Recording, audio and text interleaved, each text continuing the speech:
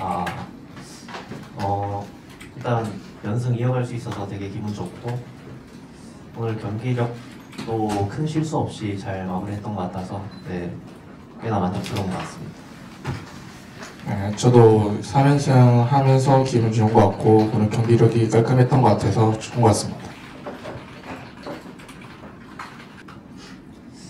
어, 아직 근데 사실 남은 경기가 또 많이 있고 해서 세 경기밖에 안 돼서 어,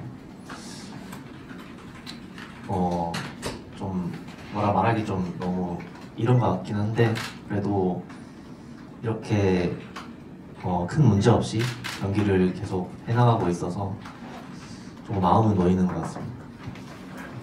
어, 일단 연습 과정부터 조금씩 발전하는 게 보여가지고 그런 부분이 좀 좋은 것 같고 아직 강팀들과 맞대결을 하지 않았기 때문에 이제 그런 부분에서는 확실함을 못 갖는 것 같습니다.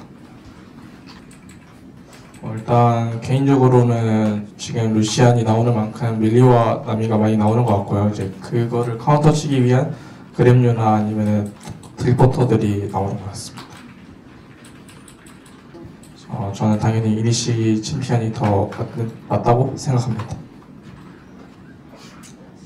어 그냥 제- 이번 시즌은 매 경기 매 경기 상대랑 상관없이 저희의 최선의 준비를 다 하고 있고 네.